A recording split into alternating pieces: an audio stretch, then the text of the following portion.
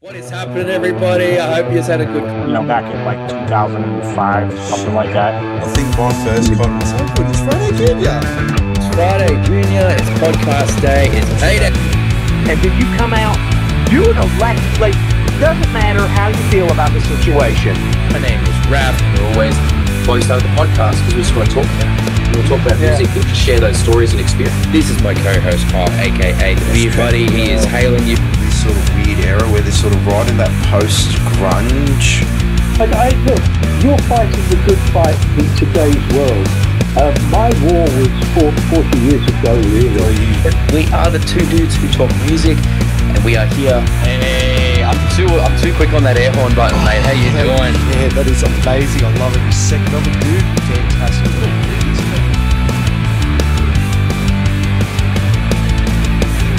Hey, doing all you amazing people. I am the Reverend Raff. This here is my well, this here is my good friend, the beer buddy Kyle.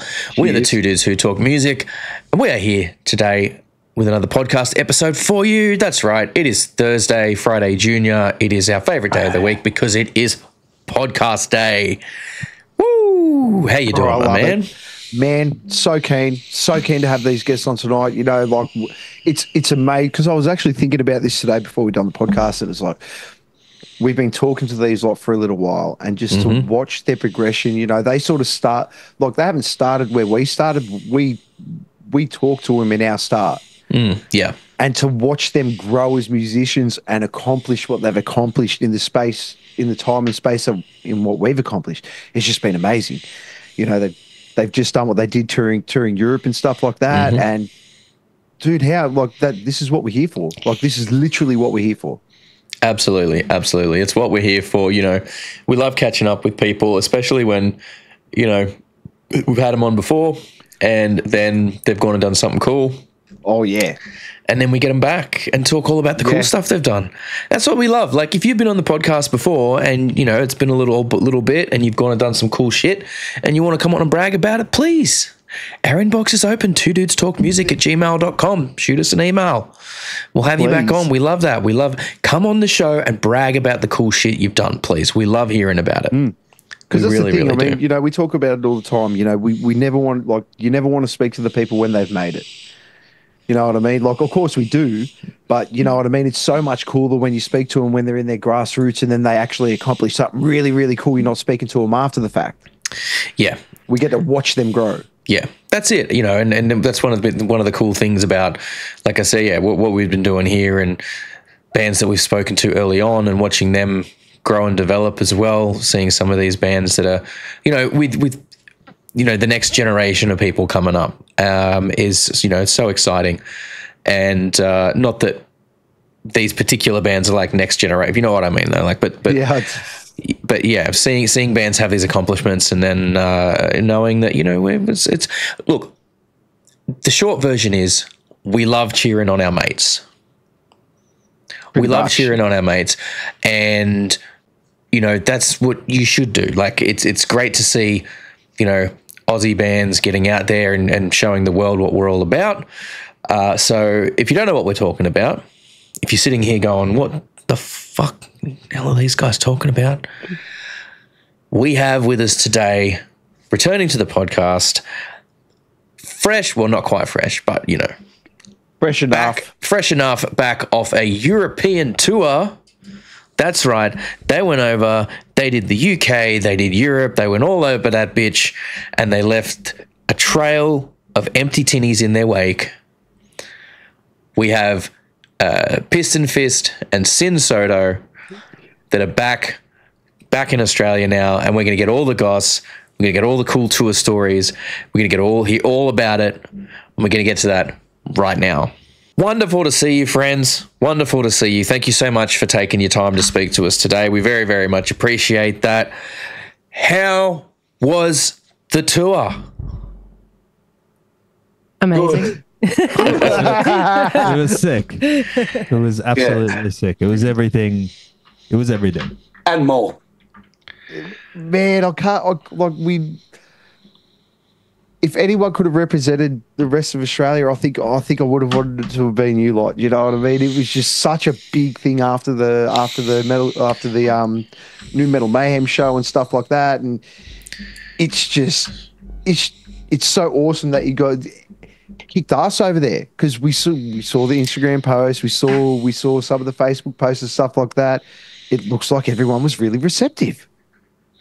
It was real Yeah. receptive, and um, I don't know what we expected. Really, I think um, there was a, quite a few of us in our group that had never been uh, uh, into Europe and and the likes, and and uh, yeah, everything was new. You're sort of hitting it with like the food, the smells, the culture, the the language. Like it's it's uh, you're in um, you know overdrive. Like yeah, all the sensations are going. So, um, and it was nice to, um, yeah, you're sort of representing, aren't you? You, you feel that when you're on the road. You feel like you're representing your country and your home, and and uh, yeah, it was awesome. Like, really can't, Yeah. Yeah, really awesome. Well, especially since it was a group of years. I mean, yeah, it's just Yeah. it's- Yeah, we were a big, big Brisbane crew. So exactly, It was, exactly. a, it was a big old moving train of Brisbane. I That can't made it for me. That made it for me. I think um, it was sort of like a school camp. If you if you go back a few decades, you know when you're on a bus and you're with your mates and you just run running amok, and except no one telling you to pull your head in, except maybe Papa Jeff every now and then. Go on, call me dad. yeah, Oh, Jeffro had to be the uh, the the teacher of the of the trip. most of the he? time. Most of the time. Sometimes he. Sometimes he got to to um, He got the play with the kids too, you know. Yeah, yeah. Yeah, well, that's that's a problem. If Jeffro's going to sit there going, "Oh man, I've got to be the voice of reason to this. What the fuck is going on here?" yeah. yeah, we're in a, we're in a bit of strife. But yeah, it was good. Um, it was funny because I kind of, you know, I looked at Lex one day and I went, I, I kind of hoped that she was that person, and I think it was something along the lines of drink piss, you big sook, or some shit like that. And I went, oh fuck. So there's no, like, oh, oh, here we go. It's on, and it was on. It was it was so dope. Uh, it's crazy. So it was it was like it was 24 shows, was it across uh, the UK and Europe? Yep, around about that. About that. Yeah, And not just that, some, of- yes, some of you guys were playing doubles in that, weren't you? Triples. Yeah, Triples, I, yeah. Yeah, Trev, yeah, Trev a I did triples, That's that band slap. but there was he was yeah, star. yeah. Ah, that's All crazy. guitarists are in it, aren't they? Yeah. That's crazy. So because it was it was it was Sin Soto, Piston Fist, Chaosis, and then kind of like a super group doing uh like Slipknot Yeah. stuff. covers. Essentially, is that what it that what it kind of amounted And to for the most part? We- and the we- Prodigy we cover, did a yes, of course. Tribute as well. Yeah. Yes. yeah. So, so If we, you call it a tribute. like if you'd call it a tribute, it was Debatable. definitely I it was found- definitely a show. I found some um I found some footage on my phone and it's uh Cherv standing outside the venue in Warsaw and he's just got his shirt in his hand and he's wringing it and it's literally as if you've dunked it in a bucket of water. It's just like, Oh, wow. Yeah. Disgusting. and that was on the regular and I can't tell you enough like how pleased we were when we'd hit those laundromats after a few days of um everybody's uh you know show gear Yep. in bags you're like that is bad You Oh, know? Oh, laundry was oh, such a thing. it was Mm. bad you just be I like take my clothes off me now. Oh, yeah, it was Yeah. it was bad because um, it was obviously summer over there, and um, it was an up and down sort of. When we started in London, we were sort of in shorts and shirt, and within a week we were back in jackets. But as we got down to Eastern Europe, it was, I think, down in Romania it was about forty-two degrees, so it was very hot. Yeah. Um, and just hot. doing those shows, you were you were a bit concerned. For everyone's like wow. heat stroke welfare, you know, but And a lot of that's not a lot of those those countries over there, like they've built all their infrastructure and their housing around staying warm in winter. So they're not designed for summer. So there's not not a lot, a lot of airflow, not a lot of circulation. They don't you know everything's stuffy. there's like, no air no air conditioners a lot of the time as well. Yeah. Like There's What- what's usually an like actual a dry heat like? crack. What's an actual dry heat like as opposed to a, like a 42 degree and 99% humidity? Well, I grew up out west, so we do get the 40s and dry. Um, It's hard. It's hard if you're out in it, um, and it can and knock you if you haven't had enough fluids. You know, so um, No chance of not enough fluids. We, we had enough fluids. the wrong type of Yeah. fluid. Wrong type of fluid, mate. Thirsty after we drank so much. Yeah. Yeah, that's it. So Yeah. did y'all get into all of the uh all, all of the like the local beers and stuff like that? Absolutely. Of course we the. Best. I, I've come back. I must have said six or seven times how shit's Australian beer. uh, You know, and Don't you dare. you know, Uh, oh, dude, I'm, no, I'm, I'm, a, like I'm, I'm a, my background's bricklaying. Like I'm a, I'm a bricklayer, XXXX, and You've been You know, spoiled VB. now. Yeah, but you, Yeah, see, yeah, you, you, the first words out of your mouth after that were XXXX. Your judgment is not very clear, my son. you know, like it was it was Aussie beer. You know, Yeah. Yeah. VB, whatever it was. Like it just doesn't come close. It's, It's- as simple as that. yeah. Yeah, fair enough. shit. But let Yeah. me Enough. let me warn pretty you. Let me warn you. They're uh, watch them when they offer you their um Cherry vodka, baby. their their It's a bit spirits. Their their uh, self brewed, self oh, self constructed poison. poison Poison. that you have to drink, or Did you you're ever try the snake? Did anyone try the snake venom while they were over there? No, didn't have a crack No. at snake venom. No, Thank nobody had. Christ. We Nobody had a crack need at the to seventy, the seventy percent beer. no, Oh, we no. we had a Uh, we had a crack at The this Duval. stuff in Czech. Called I forget what it was called, but it was like something a along the lines of ceviche. Yeah, it was like a Yeah. plum liqueur, and the dude put the bottle on the shelf, and it was like fifty-seven and a half percent. Oh, And I pointed that out to him, and he just laughed at me and was like, oh, "It's way more than that." Oh no. Oh no! Oh no. Not even close. And we Hitting those it was- 151 was- ranges. That stuff was poison. Yeah, but- it's like holy. It was quite amazing because as soon as people had it, all this truth would just pour out of them. It was like it was like crazy truth serum, and I ended up in all these deep and meaningfuls with all these local people telling me really deep secrets or, or stories of their life. I'm like, what is in that shit? Because they just had a shot of this, and then they just pour their heart out. So and they said it's it's quite normal for them to drink it. I guess when it's cold, it would warm you up from the toes to the neck really fast. But yeah, it it was something else. You That lose stuff. your Let me vision guess on a, on, a, on a 40 degree day, next thing you know, you're telling me that you killed someone and you buried him in the backyard. Yeah, yeah, you'd have to watch it with that. s- I don't know. I don't know what was in it, but I just noticed that everyone became hyper truthful as soon as I want they to had. try it. Oh, mate. You want to um, you want to make sure that you got uh, good supervision around you. I think we that night we all da- a group of us danced home at about five in the morning from that show. We we Yeah. we we saw it till the sunrise, so Wow. I can attribute it to the. And that was that was the show. That was the show. That was the one. tour. Yeah. Like, it was, Which show was it so? Which show was that? Where was that at? Give us a bit more detail. So Is, Czechia. uh, J- Jablunkov, I think was the name of the city. Jablunkov, and um, something rock? It sounds or rock made up. Yeah. South Rock. South, South, South Rock. South Rock, Yeah, Rock Cafe. South Rock. It was I dude. think It was, the, the place was built by him and his dad. It was um We we rolled up not thinking much. We were like, oh great, it's got like Yeah. a, a running river out the back and and It's some called Rock Cafe. You know, you're not thinking. Yeah, we. w- I don't think we we expected nothing, and uh, we saw that there was a barbecue out the side, and we're like, oh, great, because it is um fairly normal practice for a lot of venues over there to feed you.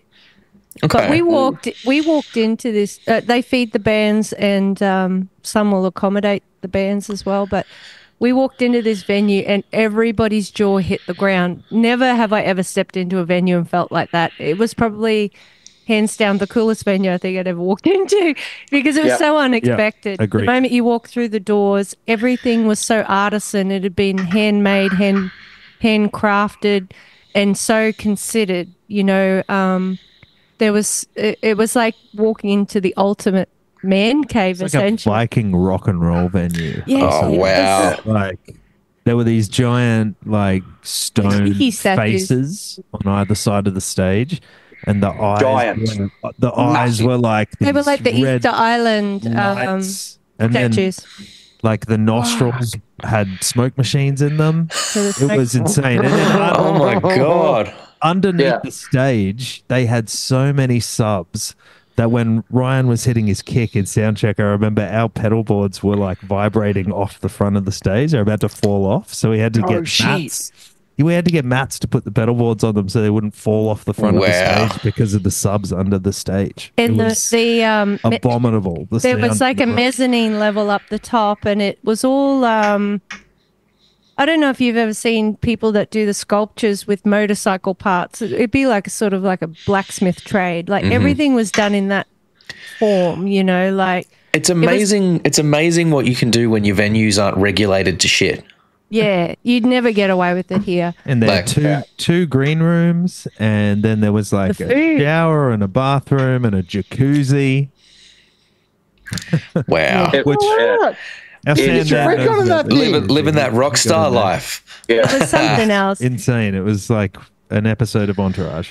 And the food, Absolutely. the, the food was amazing. You know, like you walk in the the back room and it's full of all the different, you know, ten different types of salami and, and cheese and fruit and drinks. And Goulash. we just felt like we were sort of the the, the red carpet had been rolled out. You know, anything you Yeah. wanted was uh, was given immediately. It was it was um, hands down the best night um, of the tour for me, anyway. But Absolutely.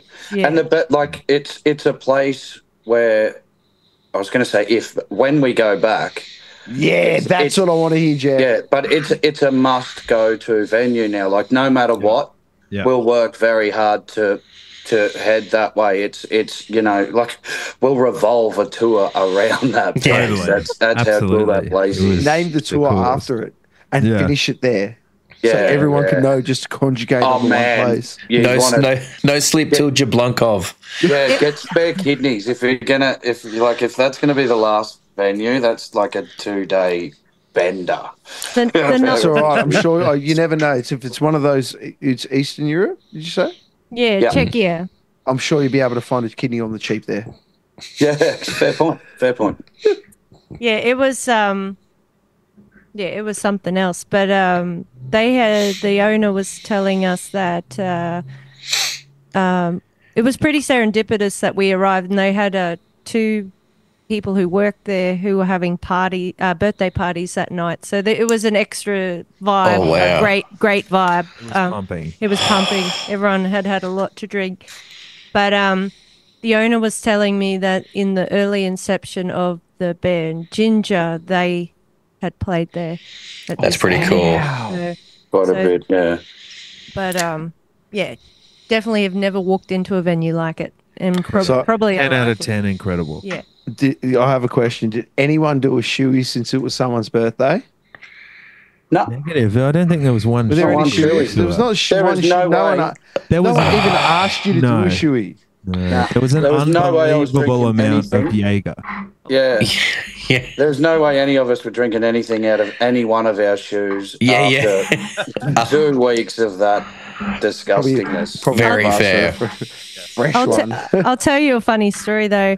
Um, this older bearded man came up to me during the night or early in the night, and um, an older guy, and he said um, he he handed me this little uh, rock, and I was he's like, "Oh, your friend said you'd you'd um, appreciate this," and I was like, "Oh, he must be talking to someone that because I do I collect." Rocks like river stones and stuff like Oh, um nice. we, like just when I go places I grab a little rock and I was like oh that's really cool. And um hours later I saw him. I'm like so what's the story with the thing that you gave me? You know and he, it was hash it was a block of hash I had no idea I would have taken that shit through customs and been like Oh it's a, no. river, it's a river rock because of the shape of it. I, I couldn't quite tell. It was so hard. And I was just like, fuck, I would have got really done over oh, That it. is Oh a big- no. That is a. Oh Yeah. So how oh fu- my god! how- Wow. How, fucked up did you get afterwards? Well, That was I did. I did dance night. home at five a.m. you know, Uh, so, it was uh, good shit then, is what we're, what you're saying. Yeah. Hey man, when Everything in, there, when in Rome. everything It's like, oh, this I made good. this. Yeah. Well, that's that's a crazy thing. I mean, they like what? a- It's all right around the corner. That stuff when you're Yeah. in Europe, you know, Yeah. like eh, you know, like Well, we did do the Amsterdam, and, and but there are surprisingly uh, places that you go that are completely uh, it's not. Not. their not their thing. yeah. Um, and uh, yeah, and that's why the guy came up and gave it to us because he was in a band and they played his music later on. It was actually really great. It was really heavy and really great. An older guy, and um, yeah, it, he said, "I know when bands are on tour how hard it is if they if they like to have a smoke." How hard it can be to come by. So I always turn up to the shows and make sure the bands are looked after. And um, I don't smoke typically, but uh, yeah. that night I you w- did. oh well, I don't know what I did that night. It was it was pretty loose. After everyone did a shot of that fifty-seven percent stuff, it, it got pretty pretty loose. But um, A shot. a shot, a yeah. shot singular. Nah. Well, that's a, that's the one they remember. See, Yeah. I'm, I'm just I'm just imagining now, like you know the old um, like the Beavis and Butthead style like trip animation kind of stuff. I'm yeah. imagining like you're down a couple of shots of that stuff, and then it's just that, and then scene missing, and then waking up the next morning, and uh, Well, I, I was three in and said absolutely hard no to anymore. And then when we were leaving, the the owner's like, "Eh, "We have another shot of that shit." And then we all did another one, and that fourth one rocked me. I just, Oh, the remember just stumbling it's back always- to the accommodation. I remember Oh getting God. back to the accommodation, um, which was just like an Airbnb, like a private home. Um, and we walked back, a few of us. A few of us had already peeled out a bit earlier, but I was so hungry at 5 a.m. and it was uh, the the sun wasn't quite up. I got into the van, I crawled into the van, and I knew that some people had snacks in the van, and I found a half half a, half a loaf of bread and a jar of peanut butter. So I just sat there, and I must have been in there for about fifteen minutes, just scoffing peanut butter and and bread. And then uh, then I went off to, to bed, and the next morning we came to load out. And Kyle was like, "Why is all this peanut butter all over my chair?" You know, like I had just sat in there, just um, made a pig of myself. But, All I can see is the little kid in his diaper covered in peanut butter. Oh, or it like was, a Yeah, yeah. it like was just like Yeah. like a grem With really like, long so, dreads. so you just Yeah. you just turned into like you turned into a gremlin basically is what you're yeah, saying. You're pretty like, well. 5 a.m. You're sitting in the van. I can imagine someone's like walking past and they're like, "Is someone robbing that van?" And they like knock on the window and shine a light in, and you're just like Covered in peanut like butter. half a ba- mouthful of like fucking No, yeah. it's those damn, it's those damn crazy river rocks that the locals Yeah, give you. you Yeah, gotta watch yeah. it. You gotta watch it. And then they tell then river- someone's telling you know someone's telling the story about how like they, they swear they were out on their morning walk and they saw like you know a river spirit in the van. You I don't know whatever like some crazy shit. Yeah, Uh, it was That's what I it was it was a mess but you always i always have that thought um try and eat something if you've had a big night like get some food in there before you lie down. Yes. and that was my thought. So it um That's apologies to whoever owned that half a loaf of i think it was ryan. I think i ate his bread and and someone else's peanut butter i didn't care. I would have eaten whatever was in there pretty well at that point so. Oh wow! So I want to actually go. I want to go a little earlier in the tour because you guys hit a bunch of places around um, around the UK to kind of kick things off.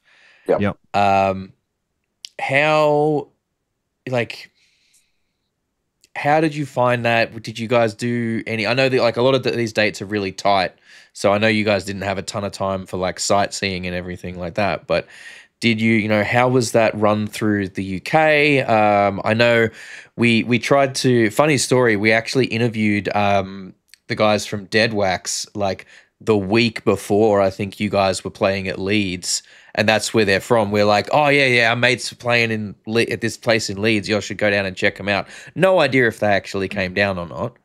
Um, but like, yeah, was that? Um, like section through the UK was that sort of a a bit more rigid than some of the rest of it? Like, or was everyone just like really excited because those were the first few shows on the tour? Well, Jeffrey was drumming and Yeah, singing. it was all of those things. It was exciting because it Yeah. was the start, and then the shows were like really up and down. I'd have to say because some of them were like Sundays, and Yeah. you know, like Sundays in summer in the UK, and then you know we played in uh, like Wales and Swansea, and that was like an absolute fucking. That was number two. That was just That was number like, two next boom. to Czech. Massive Yeah. show. It was Yeah, awesome. Swansea was amazing fun. Some bloke fell downstairs. It Oh was, wow, Some he was bloke. that drunk. Yeah. man! Some bloke. Some bloke. Some I was- saying you were Don't drumming and you were who. singing, and I did see a video of you drumming and singing. What the fuck was going on there? When I saw that, I Um, was just like, man, is there anything this guy can't do? Probably be able to give you a tattoo at the same time while he's kicking around the drums as well and screaming down the microphone. That'd be a very shit tattoo. Um, yeah, no, Ryan couldn't get there for the first few dates. Um, rock and roll, make it happen. Easy as that. Show must go on, all that sort of stuff. I Right. I definitely didn't enjoy it as much as not playing the drums. I have much more of a fun time when I'm not sitting on a seat. But um, yeah, it was it was cool. It was an experience. Won't do it again if I can help it. Thank you. He smashed it. He smashed it. He really did. And I remember looking over the balcony that night in Wales and going, Jeffrey fell down the stairs. Oh, Jeffro all- fell down the stairs. and all I could see is your little legs like a turtle on his back with his with his luggage and like almost unable to get up for a few a few seconds, you know. I was just like Too like busy oh. giggling. What, did, did gravity make you your bitch in that case, or Absolutely. The the man that the the crew at Wales, they were they were not far off the guys from Czech. They just here's another shot, here's another beer, here's another beer, here's another shot, have another shot, food. drink another beer, and it was They were just they were just louder, like aggressively louder. yeah, yeah, It yeah, was like just as nice, but they were very yell at munted your after face. Wales. So- Well, where was was okay? So where? Obviously, in the UK, there's you know a, a bit more. I imagine English was a bit more prevalent when you were around going around the UK. But like, you know, Welsh is a pretty hectic language at the best of times, um, and like the Welsh accent can be pretty hardcore. It, but I can't imagine once they've got some uh, little bit, a little bit of, little bit of drink in them, how much it gets thicker. It's a bit like the Scots, like that. Yeah, yeah, Um, kind Where, of like Aus- Australians. I was going to say the drunker the Aussies got and the, The- drunker the Welsh got, the more it just made sense. You know, We met Just in gotta the match middle, their you energy. know? yeah. yeah, yeah, they loved us, and that was the, that that show. That was epic. That was definitely the show of the UK, no doubt, and it was because of the people that were there. You know, it wasn't wasn't a cracking venue or anything like that, but it was just it was just fun from start to finish. Vibes. As soon as we walked into the place, you know, that's I'm- another venue. If we do the UK, like we we will not not do hippos at Swansea. That that place rocked. Yeah. I, w- I was upstairs. Um, they had like a green room upstairs and was sort of getting ready. And one of the fellas from the bar downstairs, like, oh, you found everything okay? He said, don't go up those next flight of stairs. They used to keep bodies up there. And I was just like, haha, that's probably what they say to keep bands from going up there. But uh, no, that was the truth. Because I met, I met the owner later and they're like, oh, yeah, when they had a plague or something or other, they used to put uh, overflow from the morgue up into that ceiling. And I was just like, everywhere you go in the UK, you're like, you know, it's uh, probably been a, a mass harborage for some some dead people at some point. you're you like- know, Is- if I mean, look, I'm sorry, but if someone tells me that, I'm like, I definitely need to need to go up there now. Like, I definitely yeah, need to go yeah, up and it see. sort of piques your interest a bit. Yeah, give me Um, a spirit box now? yeah. so I'm gonna speak to the dead. did so like I'm obviously, but that's I mean this that's what it's about, right? Like you go and any gig, whether it's here, whether it's local or abroad, whatever you're doing, like the whole point is to have that connection with people and to just celebrate life together with up some of the music culture. and Yeah. and the, the people that are coming out for a good time like that um and i mean yeah it, it sounds like and looks like from all the photos like the people showed up and showed out and and really had a good time with you guys and uh like stoked, like super stoked. You know, like we were saying in the intro, like we love it. We love seeing our friends succeed. We love seeing our friends do well, and you know, it's it's just a great th- sign all around, a great thing all around for Aussie music. Anytime mm. an Aussie band gets to go over and do something like that, and have you know a successful tour like that, because you know all of those people now are like that much more in love with Australian music. Well, know, We might go prompt them to go check out another Aussie band. Yeah, yeah, that'd be yeah, sick. and you I feel I feel like when we were neck deep in the organization of this, uh, there was a lot of uncertainty around what to expect and and how it was going to play out. Um, we definitely didn't get it all correct. I don't think you can when you're sort of diving into the unknown and and not really having the full story at your fingertips or necessarily the right resources to plug into to get the right feedback to know what to do and what not to do. Um, if there's ever any Australian local bands who want to pursue something similar, please come talk to us because I'll save you a lot of money. Um, there's a few things on the onset that we realized that we did do, we didn't do. Um, but one thing that was truly magnificent was um, how we combined all our skills. Uh, everybody seemed to have, in a crew of 11, all the Australians, uh, and we had CJ in Paris and our sound guy, Matty Cutlass.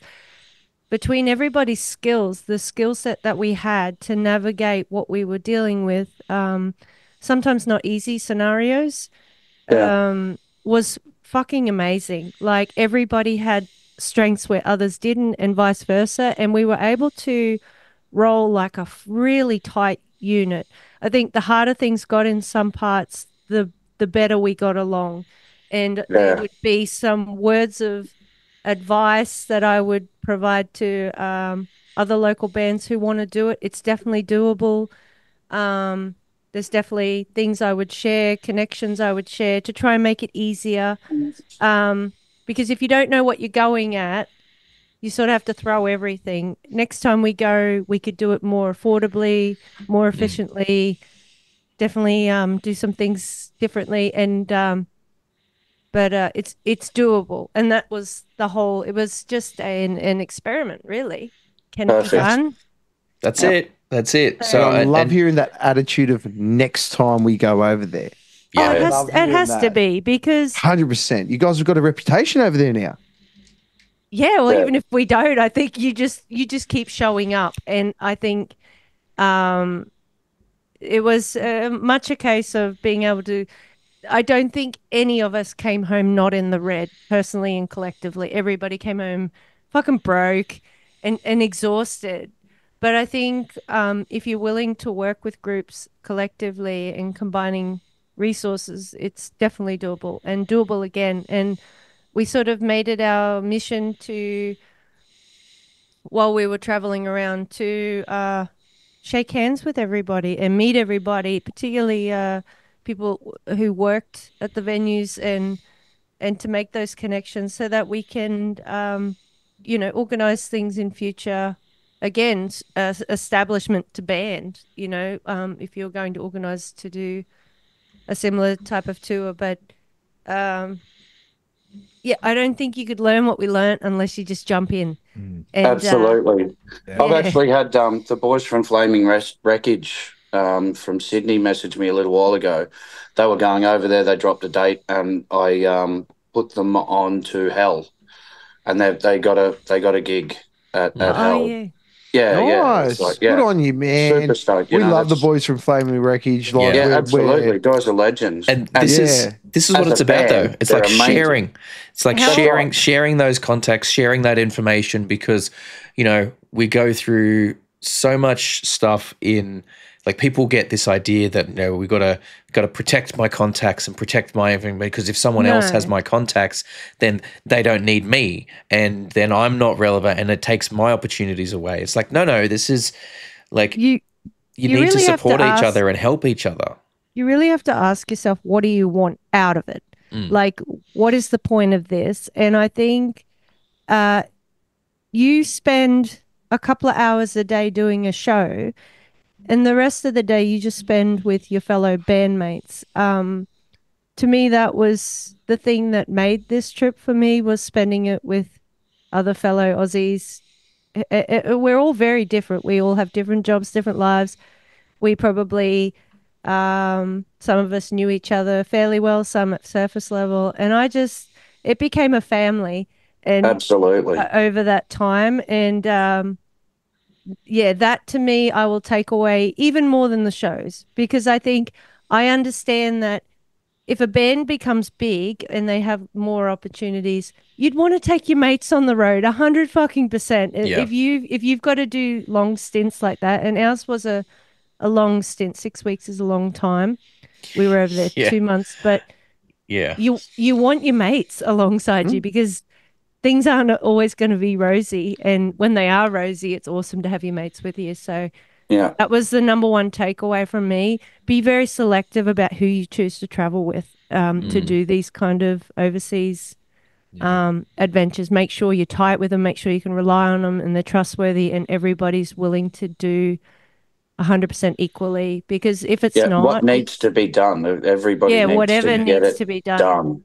yeah because that'll Yeah, make so- the experience for you So what's That's mad. what um what was ju- you know let's okay let's get into some of the tea here right let's get into some of the tea we've done All right, I'm gonna some go. I'm warm gonna and go. Grab. Keep going. Keep going. I'm all gonna right we bit- done we done some warm and fuzzy stuff right now I would like to to ask what was the most challenging experience or the most challenging moment of of the tour and how did you guys overcome said the border challenge? crossing Border It's a big- crossings were Yeah, but- serious. Yeah. The, Ro- the Romanian border crossing the romanian border particular crossing was was, a- the difficult a hectic one. one.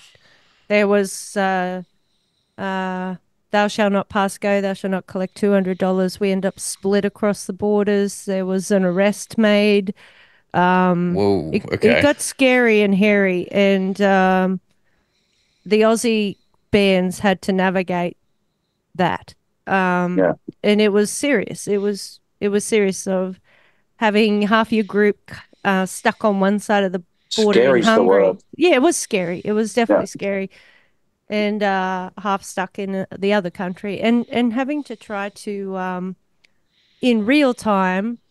Once you realize that you're in a new country, and it wasn't easy to get into in the first place, suddenly you realize that half your crew, you know, our sound guy and Paris and CJ, who'd rented a vehicle because of an error in the original planning of not having enough seats in the other van, Mm. um, having to rent a vehicle and then having that vehicle detained at a border and turned around because it didn't have the right paperwork. because in the UK, uh, in Europe, they have zone one, zone two. You can't rent a vehicle in Western Europe and take it into Eastern Europe without the right paperwork signed. And although that had been arranged, the paperwork hadn't. So when they went to go through the, and there were gates, you know, uh, you know you're on a main road. And Romania's just opened its border, EU borders, as of May 2024. So when you go through this border, it's particularly punishing. It's still very Loctite. There's still people with weapons, and their demeanor is no bullshit. They yell at you. They they're they're not fucking around. And uh, we saw those Scream guys. Yeah, they scream at you. It's it's not Oh, wow. pleasant.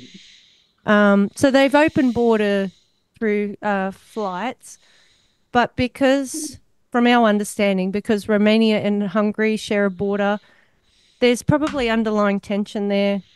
I'm not going to comment on it because I'm not from there, but so they're particularly fierce coming in and particularly fierce coming out, going out, and um, so we have our sound guy and CJ and Paris in a vehicle beside us, and they're going through one border box, and we're in the lane beside them, and we can kind of see each other, and we're sort of I'm like, oh, we better not make too much contact to, to say that we're traveling together, you know. And after being yelled at a bit, they let us through. And um, so we pull up at a servo and, uh, on the other side and we're waiting. And then we get text messages saying, we're being turned around, we're being detained. And then um, it was not good. It was scary. Wow. And uh, we had to sort of navigate that. Uh, and it It resulted. about six hours or so after. Yeah, it was- to get it sorted. So it resulted us in us uh, splitting the nine of us, so PistonFist and Sin Soto splitting in half, half staying at the accommodation, half going back across the border at, uh, you know, close to midnight, and going and getting our the rest of our crew because we decided that we weren't going to play any more shows or go any further until we had everyone together. And if we couldn't get them over, then we were all coming out of Romania. So Good. it was up near 10 11 at night and we have to we'd booked It was a rescue mission. That's, was a that's, rescue That is what it was. Wow. Yeah. so we you went have to out stuff and CJ in a duffel bag and try and sneak him back over the border or some shit. we, we Dude. went into the dead of night and we had booked cj paris and matty cutlass a motel because we knew their vehicle couldn't come any further because of the paperwork error from zone one to zone two that that rental vehicle like had Hunger Games shit. it was yeah it Yeah. was full on it was full Wow. on that vehicle had been picked up in France, and because it didn't have enough paperwork and the right paperwork, and it was a weekend, I thought, well, we have to leave that vehicle in Hungary. So we booked a motel for those guys, just one room, so that their car had a motel to stay at safely. And then we went to get them. And um, so we got over there, there close to midnight, and then we put them in our van and we brought them back over and we almost didn't make it through, like back through, uh, because it looked dodgy. Because Yeah. Of course it did. We've back and left the forth and back and country, yeah. yeah. You're like you were fucking just here an hour ago. Like yeah, and the only thing that got us over that border is that before we left, I was just like, "What am I going to need printed out in case my phone doesn't work or something?"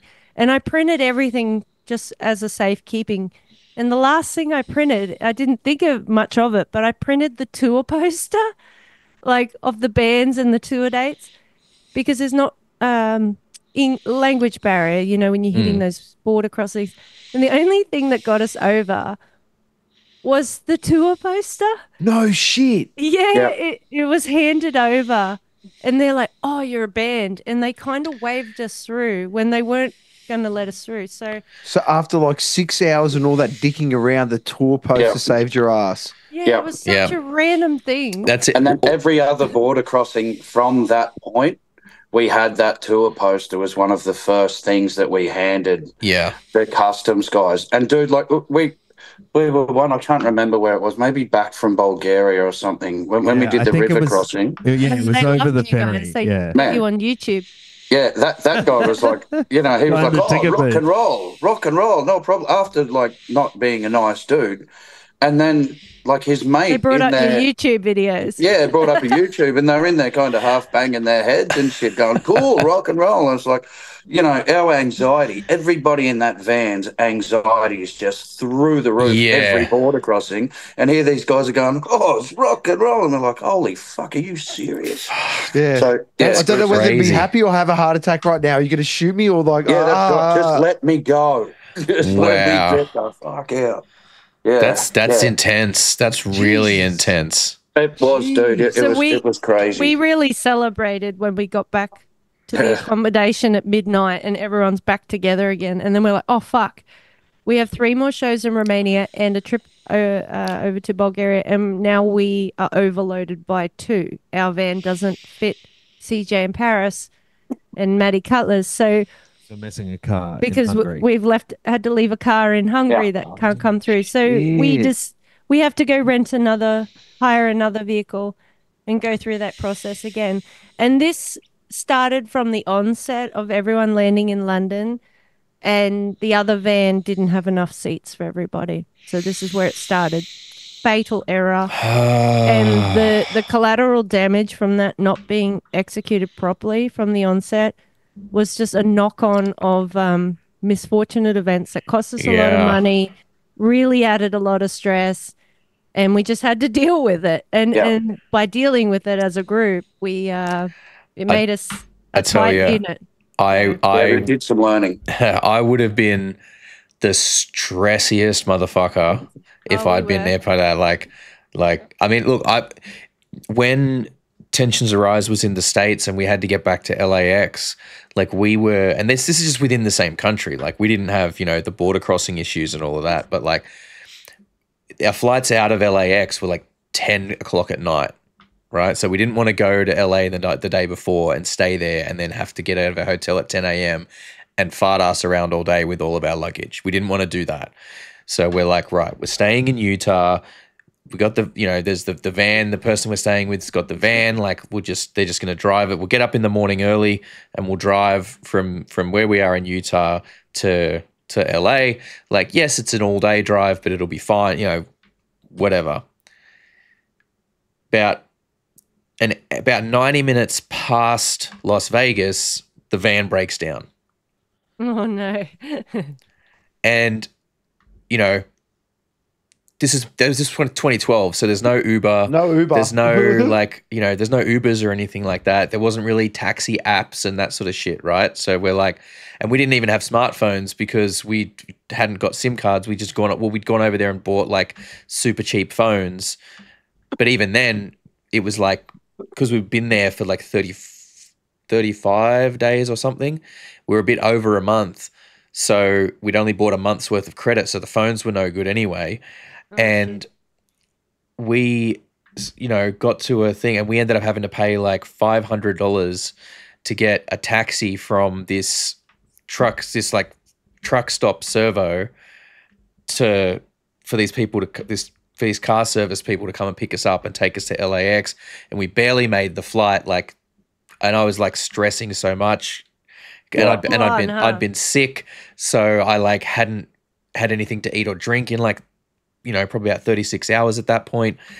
Like we got to the airport and like my eye had like burst a blood vessel so that was all like you know just from the stress and dehydration of it all. Like i was so that was in that situation how bad i was. Yeah. like i was i would have been like i probably would have been basically catatonic if i had to deal with what you guys dealt with. Like that just sounds like an absolute fucking nightmare. No one A is saying nightmare mean when but all I can see is Raff going like you know when um Sylvester gets scared, Yeah, the Le- le- yeah. he's all stiff and twitchy, and yeah. yeah absolutely. I do not do well when plans don't come go the way they're fucking supposed to. Like it's just and and the reality of these kind of adventures um, having traveled a lot in the my younger years it's not a case of if it's when, but when yeah. You can lay the best plans out and and take all the time to orchestrate perfect organization shit's still going to go wrong. And i think your ability of how to uh, adjust to or, or learn to adapt on the fly is the absolute imperative in the situation. That being said things like not having enough seats in cars is an absolute avoidable issue. And when things like that are, are done through poor orchestration it sets a, a, a it sets a ball in motion you you can't go country to country without enough seats in vans it's just not going to happen you know, Without overbook issues. seats. yeah If you have eleven people, if you have eleven people coming on tour, Yeah, you book for I mean- fourteen. it, it was Yeah. what it was but it it uh there was collateral damage on this trip and unfortunately um we did have to pick up a bit of the slack there to sort it out um, as long as everyone comes home broke, you know, and that's the thing. it's if everyone no, it- it's it it sounds like I'm being a dick, but I'm not. Mm. It's one of those things is if everyone contributes oh i and think everyone yeah, puts yeah, in, yeah no one correct no one's worse off. and the generosity of everybody because there were some in the group that had a little less available to them than what others did and i think as a group everybody dipped Yeah. in wherever we Family. it was a family venture Listen, we had uh, I'm, I'm going to pop in here. She, she's being extremely nice, but I, I give you the mail right now. If it wasn't for them two, it would have turned to absolute shit. Oh, no wow. doubt in my mind. Absolute. Lexi and Sherv pulled us out of holes. Not once, not twice, constantly. They're absolute legends, and they don't give themselves enough of a rap. No Mm. doubt. We can Well, go back to our normal service. I love you, Jeff. Round No, of applause. Round of applause. Yeah, absolutely. But Mm. I think um, for me, it is family. When you're under, going to undertake anything of that magnitude, where you're sort of on your own, we're not under any representation, we're not under Mm. a label. We didn't have the booking agent's contact details. We were just ourselves trying Yeah. to pull something off that we hadn't done before. And I know that everybody um, dug deep and everybody chipped in. We had um, a couple of birthdays, uh, in celebrations. We Yeah. had No Well, one remembers we, then, we do they? would make it a, a conscious effort every few days between living off sandwiches and the cheapest thing we could find. We would have these dinners where um, we would roll in and we'd go sit at a, uh, one of the local restaurants and try as much of the cuisine as we possibly could in the short time we were there. And they were some of the nicest memories I Yeah. take back that you have 11 people around the table. We're sharing drinks, we're breaking bread, we're having conversations, we're Smoking cigarettes a lot of cigarettes. in restaurants. Yeah. Yeah, you can't do that not. over here. Mm-hmm. Mm. Or you could be like me and light up when you're not in a country. When country you're not that, actually meant to, yeah. whoops, Yeah. Ah, England. Yeah. Like, I've been in Japan and everyone smokes inside in Japan. And uh, we were engrossed in a conversation and I had rolled a cigarette to go outside. And Jeff says, Are you smoking inside? Because I had just forgotten Just did what it. coun- Your hands just did it without thinking. You I was I honestly wasn't thinking and I just had to like put it out in my hand because I was like, oh fuck. I, I've just come from Japan, you're allowed Wrong country, motherfucker. Yeah. yeah. yeah. But they were some of the best nights because we were abs- we just eat ourselves and drink ourselves into stupor, like very indulgent, um, but awesome. Where we we'd sort of end up uh, scheming about how we didn't have to go home, how we could just go missing over here, and you know, and how we're going to do it again one day because um, it was yeah, it was awesome. In and uh, That's taking that time to make those things while you're just driving, stopping, setting up, playing, and and packing up and doing. We uh, taking that time to sort of have those family Well, it's it's a dinners. it it- was it's a- lovely. it's a time. It's a it's a break from that. You know what I mean? Like when you're especially in between shows. when you're doing that, like- it's as much as as fun and incredible of an experience as it is. You know, you're there to do a job and play those shows, so you can get into that kind of work mindset about it sometimes.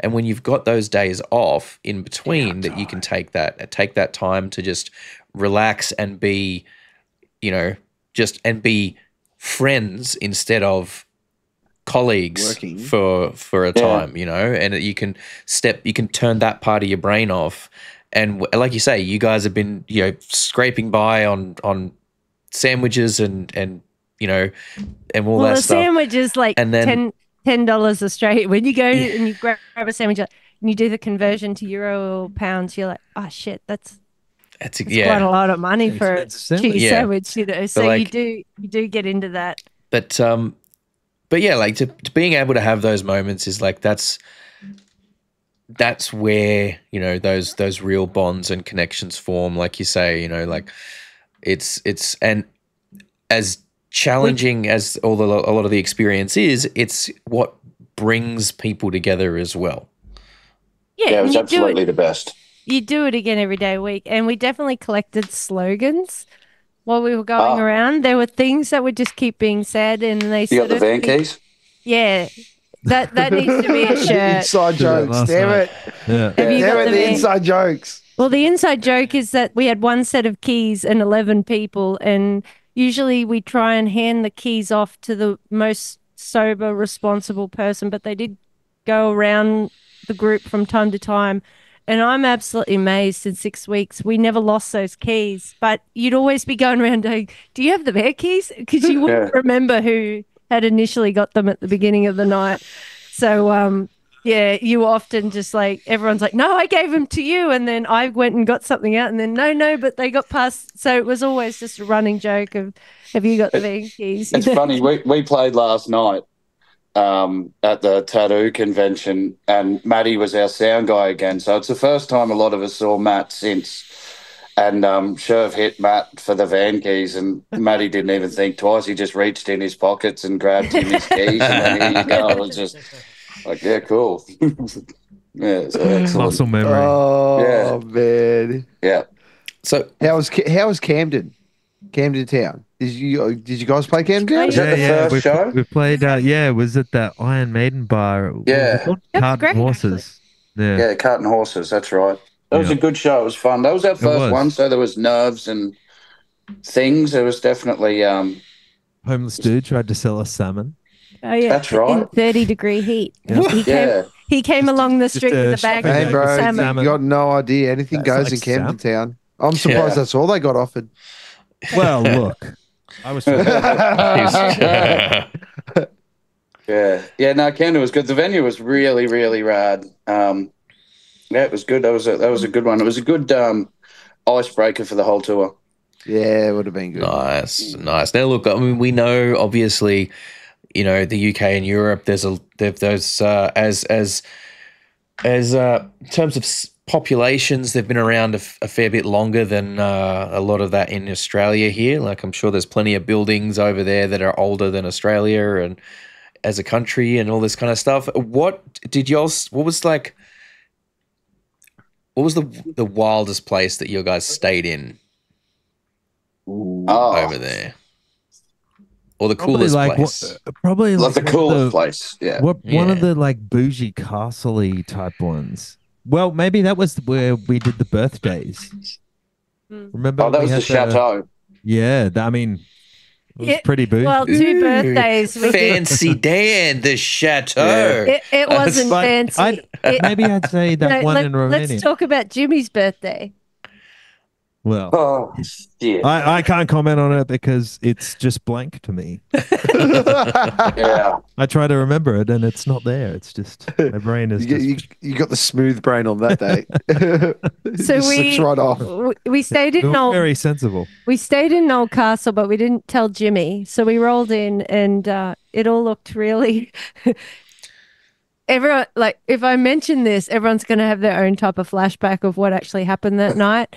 Okay. But we'd we'd been to a supermarket and we went and got a bunch of like um like charcuterie board kind of stuff, you know, like cheeses and and drinks, and we thought, oh, we'll have a picnic out in the grounds of this big old place, and and uh, it was by coincidence that we ended up setting up our picnic area on the grass, aw- out of sight of the castle thing that we were staying in. We're in eh. the castle grounds. Yeah, we're on the grounds because the grounds we were quite large. We're incognito. So when we turned up, I walked in quickly with the guys to like check in. I took a couple of steps inside and turned around and walked back out and went, I'm not meant to be here. This is this is not a Jeff kind of place. Like it was very nice. It very, was very nice. 15th century, and it was the hunting lodge of King William or something in the Netherlands. So it was wow. it was well beyond all of us. So we went outside, as you do when you don't feel like you fit in. You just I'm just going to put myself over in a corner somewhere. So we laid out a picnic blanket, pulled out all our drinks and um, food stuff, and we just sat around, all, eleven of us, and had drinks and food for Jimmy's birthday, and then.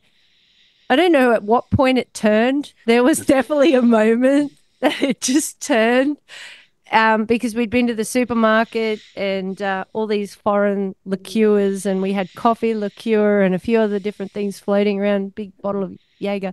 the next minute Yeah, we have salty. we have a Bluetooth speaker hanging in a bush, full full whip, just Oh as far as it'll yeah. and we're just shirts off, dancing, yelling at each other. I at the think it top was- of that. I think it was Cotton Eye Joe. And it oh, was. It was absolutely. Turbo. That's, that's It- how bad it It was. was partying. about as Like- maggot as everyone had been. I remember that some people had to be uh, chaperoned back to the to find their rooms, Yeah, that was Oh, that. and we were hiding from security because we were out in the corner of their grounds. No one had seemed to notice that we were out there, so we. My theory, my theory is that security saw us, and the guy on that Um, night was like, like, I'm not getting "Nah, paid enough for that, that." shit.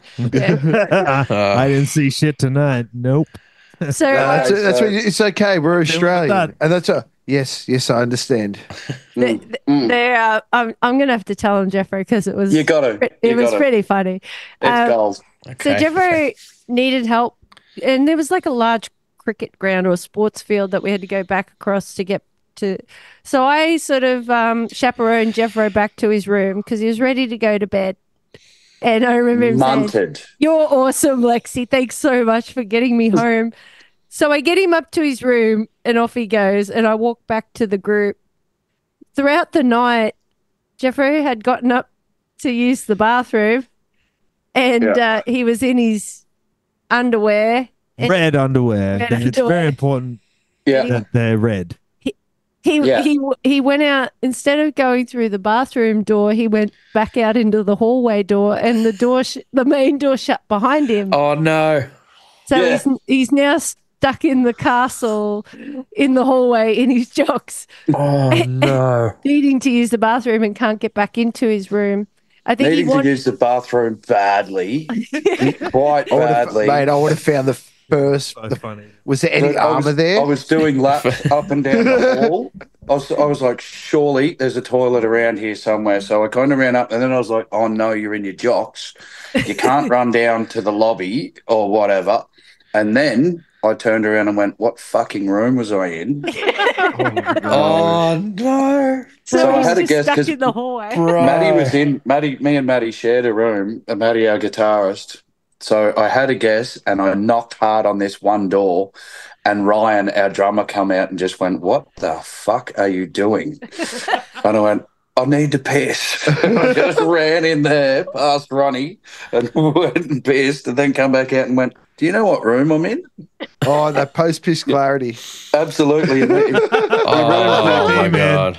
So me and can see. Ryan just knocked on the door till Maddie actually got up and moved, and then I had Oh, a cracking story for the morning for everyone while we, while we got into the van.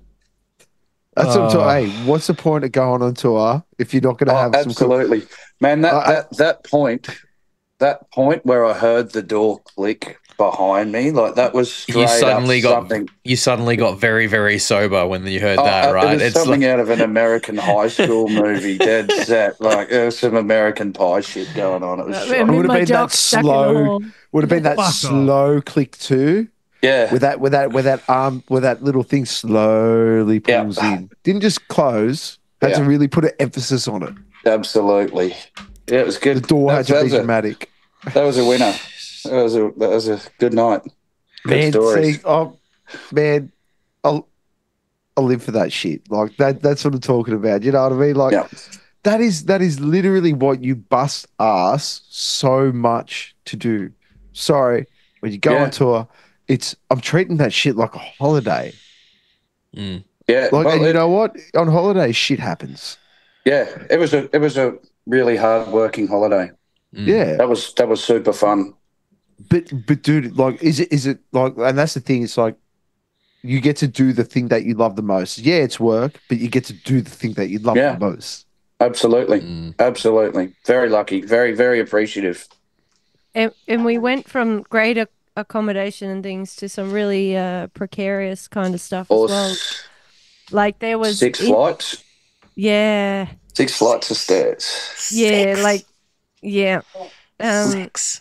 Fuck that. Six flights. Yeah. Sorry, with I'm- all the I'm- gear too. Sorry. all the gear, not um, just some of the gear. oh. all the because you gear could up never leave your steps. gear in the car. Oh, no, in you the van. can't. You'd you'd have to bring it with you. So there was a Oh, couple of no. hostels there that no elevator, and it's two o'clock in the morning, you're just dragging everything up. And but um, in Bulgaria, uh, it was an outdoor festival, and uh, festival was Oh. great. We got food. We got we had a really great time. No and- PA system. Oh yeah, that that No that PA was. system. Whoa. Thanks, Matt. Thanks, Matty Cutlass. Mhm. Whoa, whoa, whoa, whoa, whoa, whoa, whoa, whoa, How the whoa, whoa, fuck whoa, did that whoa, work? Whoa, whoa, whoa, whoa, whoa, whoa, yeah. So we turned up. we turned up at this show in Bulgaria. It looked really rad, you know, um, the venue and stuff. It was an outdoor venue, and um, the other bands that they were setting up. And they didn't sort of turn up, didn't click on, and then we turned up, and Matty Cutlass, the sound guy, just went, "Where's the PA?" They didn't have one.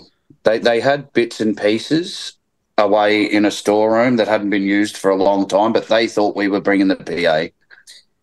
We weren't bringing the PA. So Matthew Cutlass just put on this wizard hat and kind of built one MacGyver pretty the- much. MacGyver the PA. Yeah. Yeah, he did. And we played the show. Damn. It was a The good wizard, absolute wizard, 100%. it's an impressive. he was band. absolutely worth um, every uh, investment in having uh, a competent sound person that could navigate every type of different system Yeah. in every different type of format in every different type of country. Like, I would absolutely not. We wouldn't have been able to play some of the shows um, Absolutely. without him. So He's such a fucking goer, isn't he? yeah. he's a goer. And the, he, he Yeah. absolutely won the dance move competition by, Yeah, he did. you know, Dance move competition? amounts. Oh, yeah. He's, he just, He wins it. proper party boy, that boy. He's, yeah, he fixed things while he was munted. He was just amazing to watch. Engineers are built different, bro. And I'm Dude, talking he- like audio. No, he, this guy sounds like an engineer. Engineer. Yeah, yeah, he absolutely is, man. And he took um, he, wizard. he took a bunch of photos of both bands too while we're onwards, while we're on tour that were amazing. And he's not a photographer, and like, yeah, he's just one of I'd his say photos he is just a got photographer. yeah, one of his photos just got published in a magazine, and like, Oh, it's- serious? yeah, he's he's just killer. The guy's on. What can't you do, Cutlass? He's the best. Well, looks That's hey, awesome. look, just goes to show. Look what happens if you give s- smart people opportunity. Yep. Yep. He doesn't like you don't give him anything, he'll take take the opportunity. He's that guy. Yeah. You know, he, he won't He's wait that guy you for it. throw. He's that guy you throw lemon at, lemons at. Yeah. Lemonade all day, baby. Yeah. Actually, no, he'll he'll make Sorbet Jägermeister out of it. or something. Sorbet and ferment it and get you all Mm. drunk and having a good time. yeah, yeah. That's yeah. our cutty. Yeah. That's mad. That's so Yeah. Good. like honestly, see seeing the whole thing, it was it was. I don't know. It was such like a prideful thing, in a, in a weird sense of way. Even though, like, really, like we weren't playing the shows or nothing, but it was just so mad to see you guys having such a Big- good time. Big smiles on our face every time the Yeah. posts had come up. We, Like, we've got a lot of feedback from people saying something similar, you know, so proud of you and well done and hard work pays off, all them And things. So and it's the kind good of that people care. and it's the kind of thing that you know bands see you do that and go oh fuck you can do it Yeah. Well, we didn't know at the time whether it could be done. Like we, knew, like you guys knew, we did have um, Anders Kolsefny as the headliner, and um, Anders pulled out. And as of March, we really had a choice to make. We'd all, um, at that point, already paid for some flights, so it was really just. I remember the day, sort of walking up and down the, the house, thinking if we don't try to continue this, we won't do it Yeah, because maybe life that's just it. gets in the way. And we made a decision to kind of try and keep the ball rolling without a headliner. I don't want to um, sit here and pretend that it wasn't fucking hard work and costly and full of error and even a simple piece of information like in summer in the UK and Europe, the sun does not go down until 10 or 11 p.m. at night. Now, why is that? that. Why is Oh. that relevant?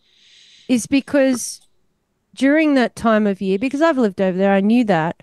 But during that time, people uh, time of year, people don't want to necessarily go to to go inside. indoor Ah. shows. That's why the fest, the fest, yeah, that that's correct. So, uh, the feedback for us, even though some of our shows felt like we are like, oh, that was a good turnout, they said, uh, uh Yeah. we, wow. we, uh, you need to come back in the cooler months when people actually uh, like to participate in indoor shows because you will Okay. have three three times the um, you know, three times the punters that you would otherwise. Like, it was a Had, simple yeah, thing. hadn't even considered something like Yeah. that being in, being Yeah. a factor. Well, And that's I the can't- thing. I mean, you go over there, everyone from the UK, like the last thing I want to do when summer hits in the UK is want to be in the UK. They go to places like Ibiza. It's good and That's other right. places because it's so cheap. It's so cheap to fly anywhere from the UK. But I can't tell you how weird it is to finish your gig at like nine o'clock at night, being one of the opening acts, and you go outside and the it's sun's up. It's Yeah. still like three o'clock in the afternoon. Time and time Right. again, it still weird weirded you out. So mm. the start of the tour, we missed so many dinners because we were like, oh, maybe we'll go out and get something to eat. And then it was like 11 at no, night. midnight. Yeah. Yeah. Because the That's sun had just that- gone down, and we were like, "Oh, the sun's gone down. We should go get some dinner." Now, correct me if uh, I'm wrong. They they put when daylight savings hits in the UK, they put their clocks like we put our clocks like back one hour. They do theirs like three. So they try and Is like it? milk. Yeah, they they their daylight savings. I'm, I'm going to look this up. Just Well, Okay, going. while, while Carl's Fact looking that, that. up, while, Fact check while he's fact checking that, I got a question that I need to ask you guys. Now, it's unrelated to the tour. It's unrelated to the tour, but it is something that we've been trying to cover off recently on the podcast um, to try and get some consensus uh, over the course of this this year. Where we're get, trying to get a whole bunch of answers from people on this question, and we're going to tally the results and s- come up with the answer at the end of the year. Now, obviously. Whiskey. Oh, Whis- whiskey's always the answer. um, but no. So the, the question relates to now, obviously, the big four of thrash metal are Metallica, Megadeth, Slayer, and Anthrax. They're often widely considered to be the big four of thrash or Bay Area thrash, I suppose, if you want to get specific. But Kyle and I have been doing this little thing where we're trying to get a consensus on who the big four of the new metal era would be. Now, these aren't necessarily bands, you know, we're not necessarily meaning bands that we would specifically consider to be new metal today, but bands that really came to the fore during that new metal period. Um, Uh, early two thousands. that like late 90s, early yeah, 2000s late late nineties, early two thousands. Who who would you consider to be the big four from that period? I mean, it's it's got to be Korn and three other people, right? yeah. Say yeah. Korn, It's Korn and some other guys, but it's Korn are in. I remember the definitely people started listening to Korn in our school. I was about 12, 13. And all of a sudden, everyone was wearing baggy pants with chains. Like it really Yeah. happened overnight. And the other band I remember during that era was Linkin Park because everyone bleached their hair and got like Yeah. spiky I blonde. I definitely had I had some frosted tips. at one Yeah. Yeah, Had some frosted tips go. back in the day too, man. yeah. Yeah, Yeah. Korn. Limp Bizkit have got to be close. Yeah, I'd I'd put Limp Bizkit in there probably. I'd put- even go- I'd- Yeah, but nah. no, we're going about the era. Oh, Like okay. Yeah. Limp Bizkit were They were massive. come on. They were. Limp I'd Bizkit nearly put Machine in the Head early in two there. thousands. They, they had a they had a new metal thing going on for a while. Look, me and Raff aren't going to give our four until the probably the very end. Uh huh. But I do agree with But you. Machine Head are on the list. Deserve a lot more credit for what they did in the new Yeah. metal scene. You're Yeah. not the fir- you're not the first person to bring that You're not name the first person to bring that up. System of a Yeah, Down. I System think. of Down. Oh, System of a Down need to Yeah. be in there. yeah. Um, I'd I'd even say If we just- Deftones, even though they've moved away from what that was at the time, they were like, you know, Mm. yeah, I you look- agree. you know, Deftones. if you're looking really at just what we Oh, think Deftones have was- got to be in shit there. at the time.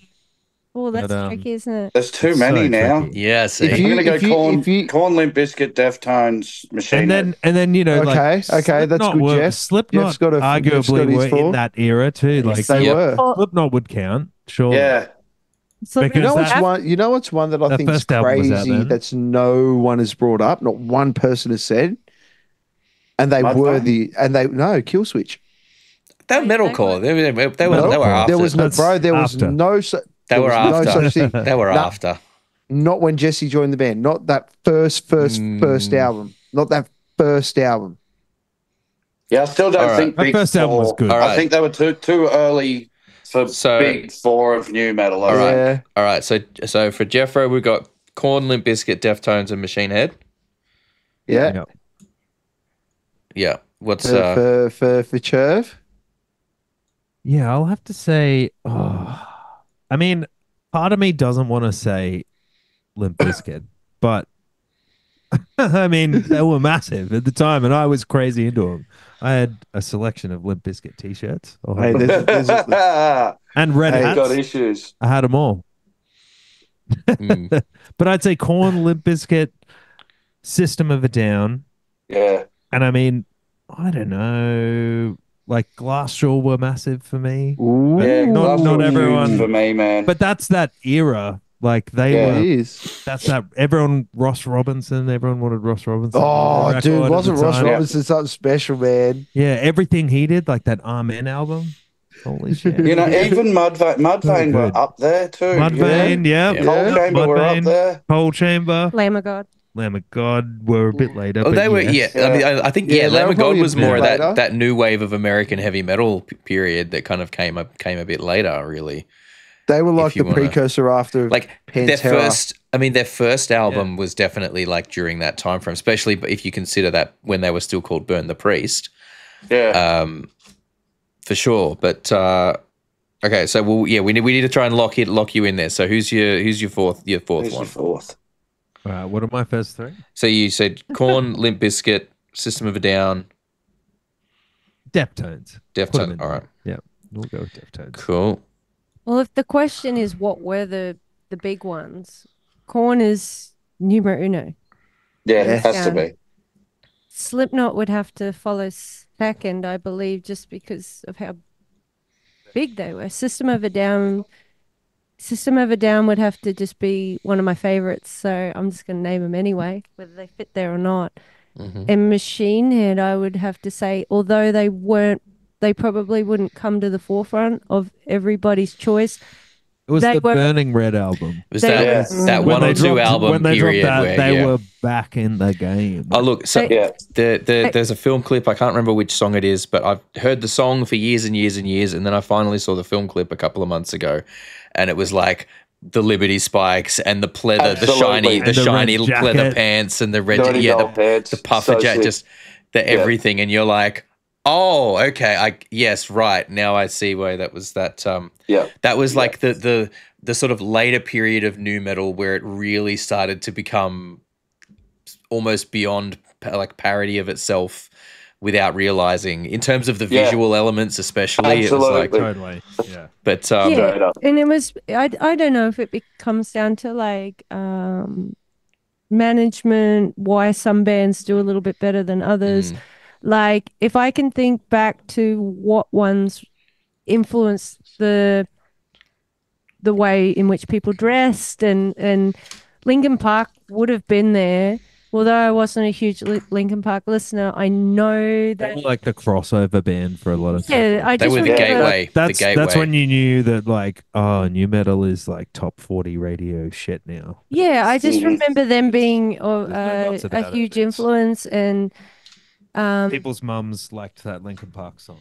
You know, Yeah. if someone's Yeah. mum likes that and song, then you know again, I it's didn't listen to them, but I know how popular Disturbed was, and and Mhm. there was a whole bunch of bands that I don't know. one, one But if band I that think I it- hate, Drowning Pool. Oh. Yeah, he, he Like, didn't have a great they end. they had they had yeah they they they were He they an were right in the unfortunate thick end, of it. he? They did, and if, I'm sorry if, if that didn't happen. I think they would be in the conversation. Yeah, they Yeah. probably would. Yeah, Mm. it's it's yeah it's it's a rough a really rough go for those guys Yeah, um even someone some a band like like snot that sort of oh, that, that Yeah. again like you have to Yeah, imagine you know if they hadn't had a, a, they hadn't lost their singer like where would they have gone because you look at you go back and listen to that album and you can hear so many other bands that came after Yeah. You can As hear absolutely. in soon that. as, as soon as you mentioned snot, I was like, man, I used to listen to so much Sevendust.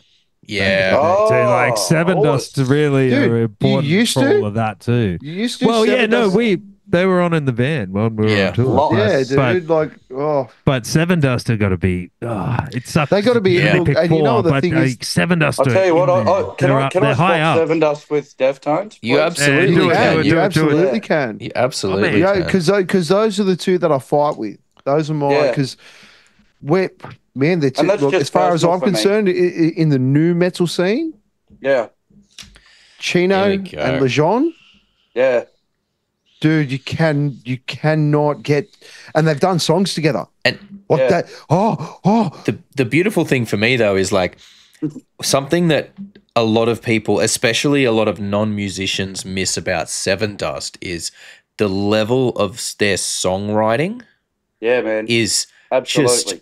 it's it's like you know it's not like that they, you know they make great music that the layperson can enjoy but if you have an understanding of music and songwriting like their shit is just on another level yeah. and the fact that so much of their material like i mean they've done you know they've i think they've, they've done the studio album as well and obviously they did that acoustic tour at the southside double wide tour where Yeah. it was all like acoustic versions of all, like all their shit like to take metal music and break it down like that it has to be great songwriting at its core That acoustic EP And- is so great too. Like, and that's Yeah. yeah, and that's it. That is a per, they're a perfect example of how you just write great fucking songs, like catchy Yeah. hooks, Amen. catchy riffs. They stick in your fucking mind. They're there, um, and it it really is a shame that they didn't sort of get to a higher level than what they did. because 'Cause they, they stick right in deserve the it. realm of like They deserve to to- yeah. musicians. But Yeah. the punters still get it, so it's like Yeah. really caught in that awkward in between. Yeah, Yeah. like they really should have should should have ended up uh, do it, you know, at a much higher tier in the industry than they than Yeah. they landed Mm. at. You know, I'll um, Here's how I gauge it. If my, if my uh, wife likes it, yeah. it's like especially metal. That's it's a probably a lot better than what it should be. yeah. yeah. I'd like to hear the top ten, please. When you like, Oh, yeah, yeah, yeah. top four. yeah, That'd be no, for sure. We'll, to see the what we'll what we'll That'd be cool. probably do, we're, what we're thinking at the moment is when it comes to our end of year live stream, we'll do the sort of unveiling or the thing there, and then we'll clip that and put it out as like its own, its own little bit for people as well. Yeah, Yeah, awesome. so we might give out. We might if, if it's if it's teetering. Soulfly, yeah, yeah. See, see, there's another one. So if- many. If, it's if it's teetering, we might give our last four on a video. If it's if it's like really we'll see close, how we go. I will say there is there is it's a clear some- distinction. it's there is it's a like very it's clear. a dis- the, like, the, the, the graph is like that. You know what I mean? Like it's like the first the first couple of them are really really high, and it drops off very very quickly, and then there's a long then there's a long tail. So I think But see, I'll tell count- every metalhead to try this little social experiment.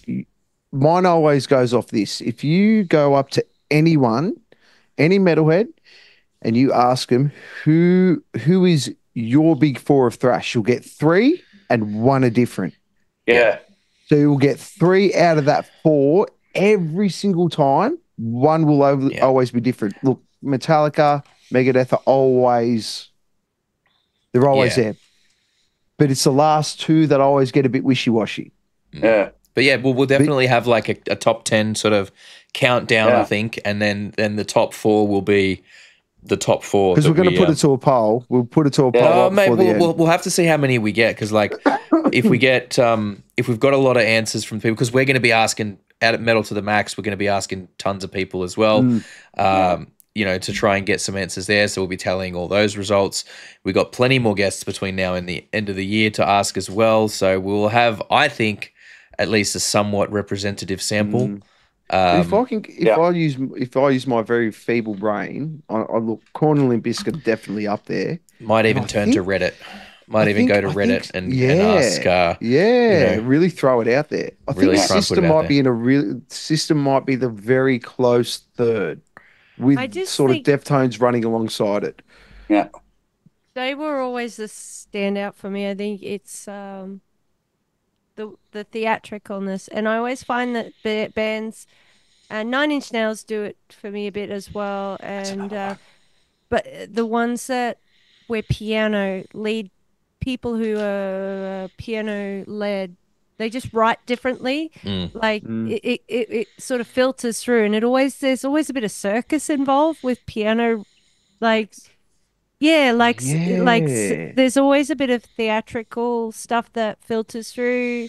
Um, you know, Faith No More, anything that gets a little Ooh. bit like that, and and Trent Reznor does it a bit too. They just come at things a little bit different from gu- uh, guitar-driven music to piano mel- Mm. like maybe the the ideas are coming up on a piano first. It always just ends up a little bit circusy. the, the way the way the chord progressions are, are built, you know, Yeah, they they are approached on a piano versus a guitar is can be is very different mentalities and I don't Yeah. know if any of you guys muck around with Polyphia. I think Cherv might. Cherv, you muck around with you, Yeah, yeah, for sure. The- Yeah, that fuck with that Tim stuff. Henson, he he, I'm pretty sure he writes most of his stuff on piano first, and then tries Yeah. to break it down on, on his guitar afterwards. Yeah, yeah. He said Which he's like which done which he goes is actually a, de- a, a detriment to him because the chords may be really easy on the piano, but when he tries to break it down on the guitar, it's like the lead.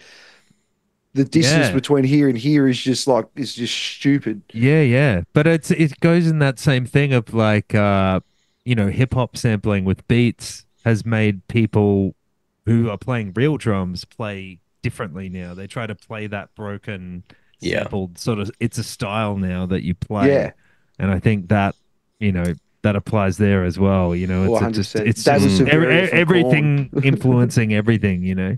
Definitely, Mm. definitely. Well, look, thank you guys so much for, for coming along tonight and sharing some of these tales from the the European tour with us. Um, Congratulations can't wait again. to congratulations. Yes, absolutely. Cannot wait to see all you see you guys in person again at some point. Hopefully, hopefully sooner rather than later.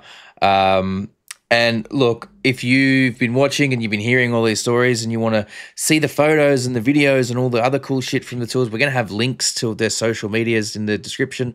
So you'll be able to go and see all of that stuff for sure. Can I just can I just say if you are Yeah. a, lo- a local band who um, has that idea to do something uh, anywhere over in Europe, the UK, please reach out to us, Sin Soto or PistonFist. Any of us, yeah. Any yeah. of us. Uh, we will, If you got honest to God, save you some concerns. time and a bit of money uh, with regards to just logistical things, ac- accommodation, recommendations, uh, probably a couple of connections for venues.